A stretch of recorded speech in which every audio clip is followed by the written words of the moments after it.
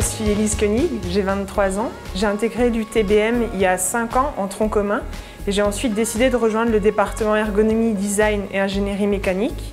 Donc je vais être diplômée cette année et j'ai été embauchée au sein de l'entreprise Shelby SA à Delémont en Suisse. Mon engagement s'est porté sur l'association Enable. C'est une association qui met en relation des personnes qui possèdent des imprimantes 3D et des familles qui ont besoin de prothèses pour des enfants par exemple qui seraient nés avec un handicap. En plus, ça permet de faire la relation avec mes études puisque je suis une férue de nouvelles technologies, en particulier de mécanique. Il s'agit là de prothèses mécaniques toutes simples qui peuvent être utilisées pour le bien-être des enfants.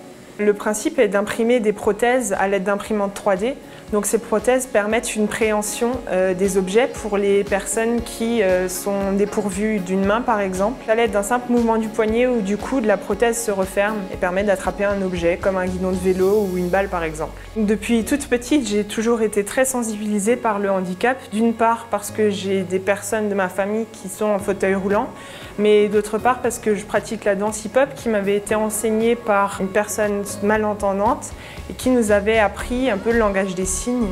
Au sein du TBM et en particulier au département EDIM, la conception pour tous est un point très important. Donc on nous a enseigné ça au travers de cours. On apprenait à concevoir des objets pour des personnes handicapées, des personnes âgées et c'est ça qui m'a aussi poussé à me lancer dans ce projet. Je tenais à remercier la Fondation UTBN et j'en profite pour lancer un message pour motiver l'ensemble des étudiants ou des personnes qui posséderaient une imprimante 3D à rejoindre l'association Enable pour devenir à leur tour maker et fabriquer des prothèses euh, grâce à l'impression 3D pour redonner le sourire à des enfants qui en ont besoin et les faire devenir des super-héros.